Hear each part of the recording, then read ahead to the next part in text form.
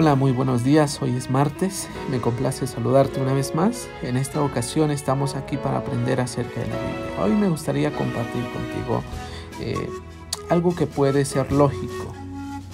Y en esta parte, nosotros estamos conscientes de que hay personas malas y hay personas buenas. Si ustedes se dan cuenta, precisamente eh, las personas malas, pues desde luego no son tan agradables. Pero las personas buenas en cierta forma pues lo son.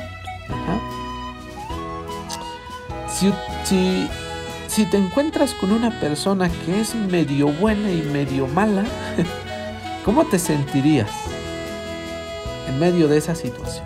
Bueno, la sensación que podría haber es la desconfianza. En esta ocasión me gustaría compartir precisamente, dice, la vida o la muerte, el bien o el mal. Saben, nosotros podemos elegir muchas cosas. En el libro de Deuteronomio 30, el pueblo de Israel cuando salió de Egipto se le dio dos opciones. La primera precisamente eh, Dios le dijo, guarda mis mandamientos. Y precisamente eh, Deuteronomio hace un recordatorio. En Éxodo, cuando fueron declaradas las palabras de Dios en tablas de piedra, eh, se le dijo, no hagas esto con la intención de que reconozcas que hay un solo Dios. Y entonces dio una serie de, de palabras eh, que podemos encontrar en los diez mandamientos. Y entre ellas precisamente el pueblo de Israel dijo, sí, lo vamos a hacer, sí, vamos a obedecer. Tú y yo sabemos que la historia tuvo un rumbo diferente. El Israel desobedeció, no hizo caso, hicieron lo que quisieron.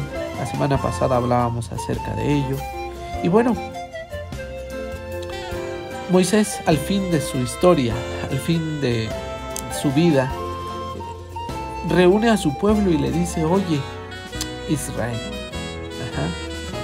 es mejor que hoy escojas creer en Dios porque hay vida. Y precisamente le dice, escoge obedecer los mandamientos de Dios, porque el que obedece es bendito. Y el que desobedece recibe lo contrario a las bendiciones. Me gusta lo que dice, mira, yo he puesto delante de ti hoy la vida y el bien, la muerte y el mal, porque yo te mando hoy que ames a Jehová tu Dios, que andes en sus caminos y guardes sus mandamientos y sus estatutos y sus decretos, para que vivas y seas multiplicado, y Jehová tu Dios te bendiga en la tierra a la cual vas a entrar para tomar posesión de ella. Querido amigo, ¿quieres que te vaya bien en la vida? Elige bien. Elige hoy el bien. La Biblia dice en Proverbios 10, 8 y 9, Dice, el, sabio, el necio desobedece los mandatos. El necio, eh, perdón, el necio desobedece los mandamientos. El sabio los cumple. Y la, siguiente, el siguiente texto dice, eh, el que nada debe, nada teme. El que mal anda, mal termina.